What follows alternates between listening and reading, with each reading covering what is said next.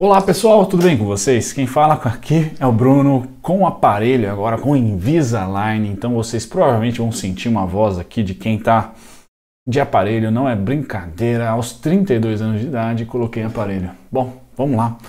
Contando esses causos para vocês, pessoal. Hoje eu encerrei o meu trade na Magalu.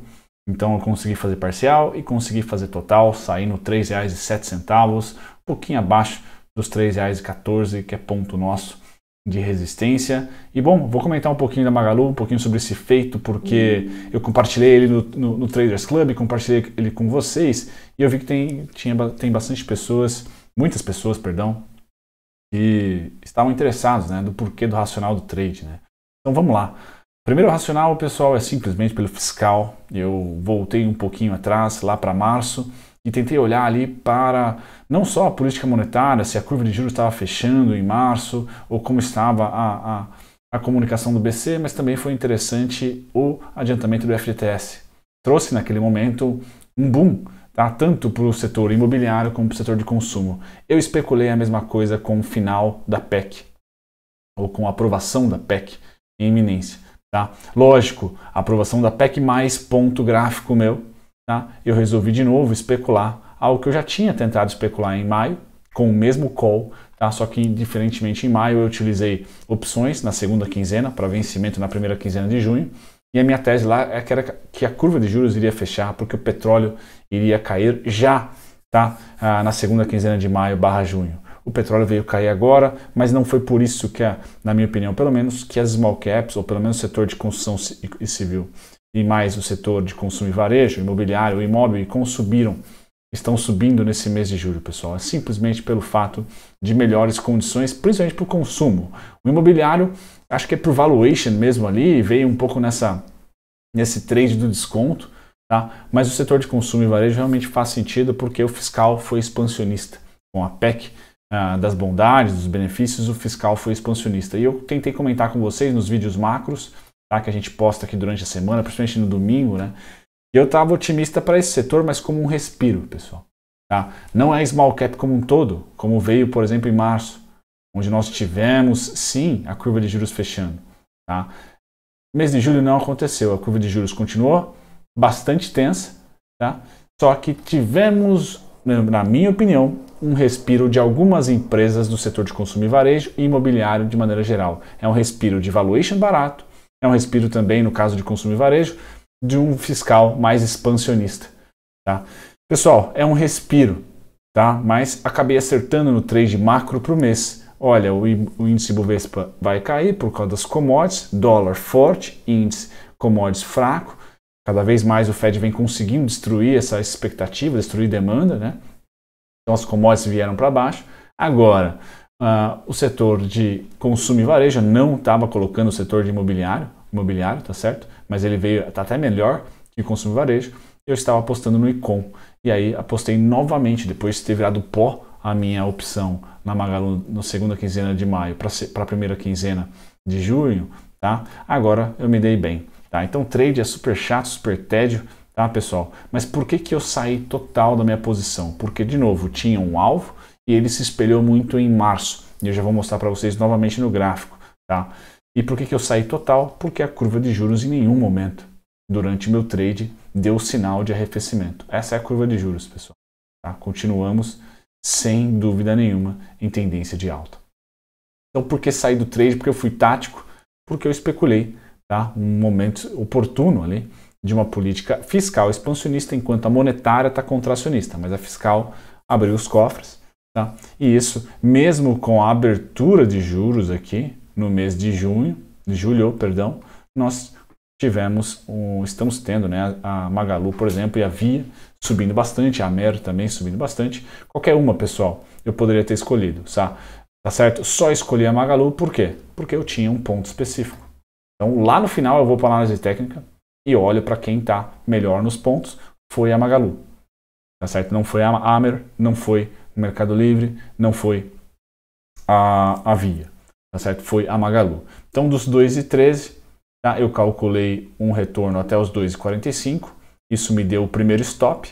Então, retorno stop de 1 para 1. Tá? Quando a parcial foi feita em 2,45, tá? eu tinha aqui em 3,7 tá? em 3,7 a minha saída e tocou justamente hoje. Tá? Por que 3,7 pessoal? Porque eu estou projetando um novo março, agora já é engenheiro de obra pronta, né? Estou projetando um novo março. Até onde pode ir 3,14, 3,22, 3,47. Tá? Para não ficar pendurado, eu sempre ponho um pouquinho, alguns centavos abaixo dos meus pontos. Tá? Uh, e, bom, saiu hoje R$ 3,07. Eu acabei o meu trade, pessoal. A Magalu pode explodir? Pode. Pode ir para 8? Não sei, pode. Tá? Eu só fui tático, por isso que eu falo que trade é chato, é monótono, é pragmático. Tá? Então, para o meu trade, para o meu risco de início, para a minha parcial de início e para o meu final, foi um sucesso. Tá? Eu estava esperando 50% a 60% de retorno no máximo, e pois bem, tá? do meu 2,13, certo? Até o ponto atual, 42%. Agora, da mínima, certo? A gente já somou 51%, é isso? Boa ideia, é isso aí, 51%. Tá certo, pessoal? Tem mais 8% aqui para subir. Isso geraria um alvo ali em 3,22 para ser idêntico ao fluxo de março. 58% mínima máxima. Por enquanto estamos com 51. Se subirmos para 3,22, será 58%. 58,71% novamente. Certo, pessoal? Então, esse foi o trade, essa foi a ideia. Para não finalizar o vídeo aqui, que eu espero para a direita do gráfico, tá? A direita do meu gráfico, esse é um gráfico de 4 horas, é mais para trading, né? A direita do meu gráfico, eu simplesmente espero mais uma pancada vendedora, tá? Por quê? Nós não temos nada indicando tá? que vai ser que vai ter alívio desse setor. O que pode fazer? Por quê? Curva de juros está estressada, pessoal. Tá? Subiu por um momento oportuno, de uma expectativa de, um, de, uma tática ali, né? Trade tático, na minha opinião. Trade sempre é tático. Tá? Investimento que é, que é algo de longo prazo, trade não. Tá? Vai depender do resultado da Magalu. Tá? Talvez o resultado da Magalu possa colocar eu como mão de alface. E a gente vir para, em vez de 58, vir para 100%. Vamos lá para 4. E 16 aqui. 100% de retorno. Tá? Ou até mais do que 100%. Vamos ali para 5,14, 5,68, 5,89, que por sinal é, talvez tenha tenha sido alvo das minhas opções. Foi alvo das minhas opções, exatamente. Tá? Eu entrei comprado em call aqui, ó, pessoal. Tá? Apostando no fechamento da curva de juros. Segunda quinzena de maio. Tentamos uma, tentamos duas. Aí veio discussão fiscal e veio principalmente o Fed duro. Tá? Aí mesmo com dados bacanas do, do varejo, a gente caiu. E veio para o segundo ponto. Tá? Tinha o 2,45, 2,13. Eu preferi o 2,13. Bom, Dessa vez acertei. Tomei um ferro aqui, ganhei dinheiro a colar. Dessa maneira, pessoal, é, é, esse foi o trade, tá? Agora, o que eu imagino para a direita do gráfico, então, é que se a gente continuar estressado nos juros como está, a gente não deve passar com facilidade aqui e os resultados do segundo trimestre não estou nem um pouco otimista. Tá? Nem um pouco otimista. Pode ser que me surpreenda, certo? Então, o trade tem que ser gelado, como eu não quero ter a Magalu por longo prazo, pelo menos não por hora. Tá aqui. Tá? Esse é o, é o, é o, o trade. O normal, pessoal, na tendência de baixa é sentir resistência aqui. Tá? Eu já vejo o volume aumentando em topo, que não é legal. Tá? Então, volume aqui aumentando em relação à mínima, em região que eu tenho como alvo. Tá? Então, no gráfico diário, por exemplo, você vê que os, os volumes estão aumentando em região de topo. Então não sou muito né, fã desse, desse tipo de sinal e o mais natural é que a gente tenta algum tipo de resistência aqui e volte a cair. Se vamos fechar a 2,45, 2,13 e não vamos fazer novas mínimas, pessoal, vai depender das condições macro. Não acho que vai depender dos fundamentos da Magalu. Tá? Ainda é o externo que está fazendo preço. E aí o próximo alvo para baixo, R$ 1,59. Para cima, vai para o 3,22, 3,47, 4,13, tem vários pedágios aqui. E o meu alvo da opção era 5,89, 5,14, 5,68. Né? Também acaba sendo alvo. O cenário base é que a gente não passa dos 3,47, 3,22. Tá certo, pessoal?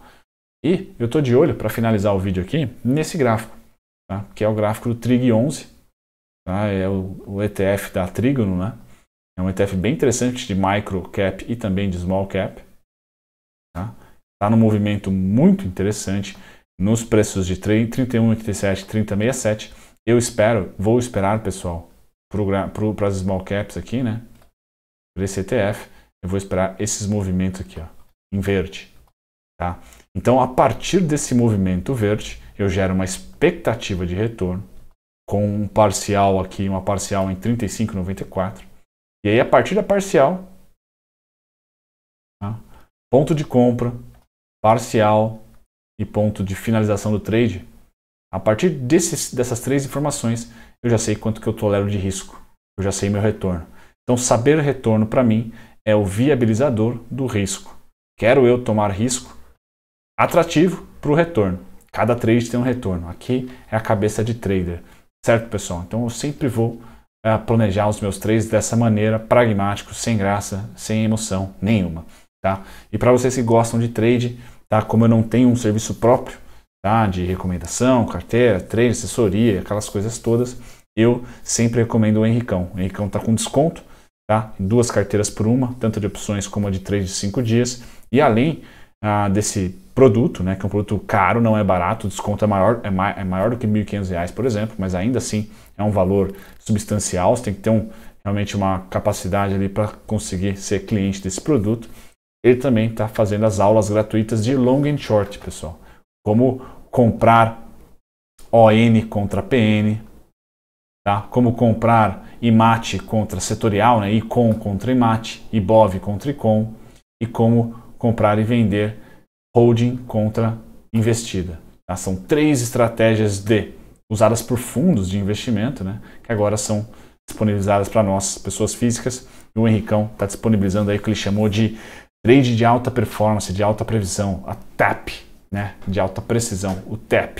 Tudo isso Tá na descrição para vocês, pessoal. Um grande abraço. Eu de aparelho agora, babando pra caramba para falar. Ainda bem que vocês não estão me vendo, tá? E tão pouco próximos de mim. Putz, por aparelho com 32 anos não é para qualquer um. Um grande abraço, pessoal. Tchau, tchau.